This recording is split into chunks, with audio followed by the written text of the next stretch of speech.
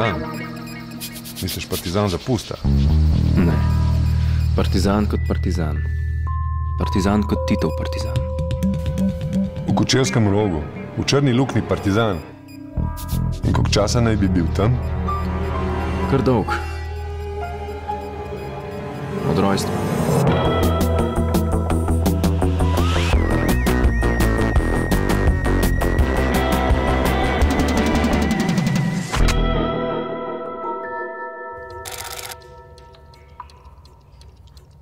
V gozdu od rojstva.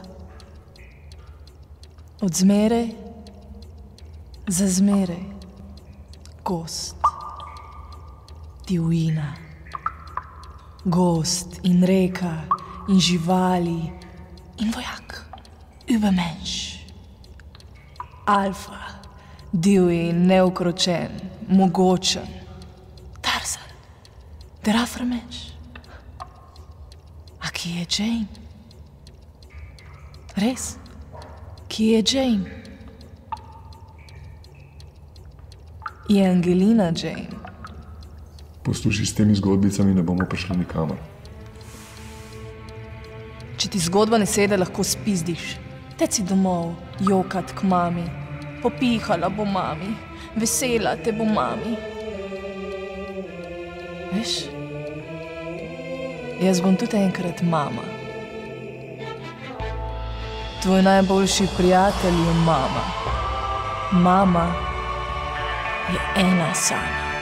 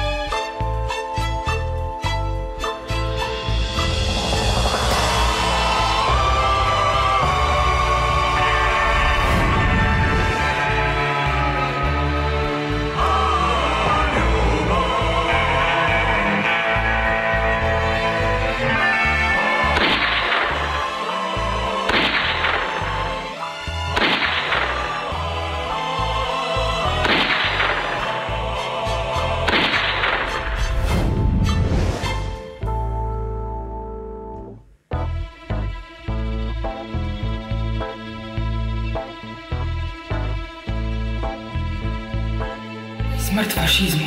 Слобода народу.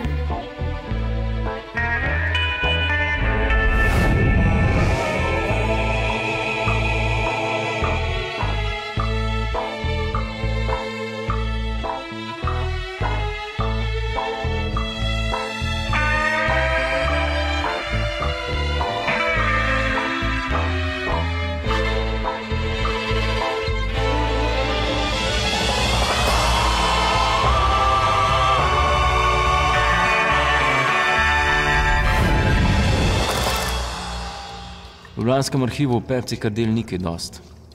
Neki pisem, spričeval, zapisnikov pa nobenih. Kdo jih je vzel? Najbrž uničil. Zato pa gora zapisnikov iz leta 1983. Projekt Hinkemann, tako je označen v glavnem poročilu. Udba je šest mesecev zasledovala skupino študentov in mladih intelektualcev, ki so se na tajnih sestankih zbirali od januarja do oktobra 83. leta, privat stanovanju na čestico na Titovi, današnja slovenska. Skrivni prostozidarski obredi, žrtvovanja raznih živali, klerofašistični simboli. Policija ni nikoli posredovala, ker je šlo za skupino najbolj nadarenih slovenskih študentov. Danes samo znana imena. Godnič, Živadinov, Korbarjeva, Žnidaršič, Završan, Lajbah, NSK, o Pepci pa nič.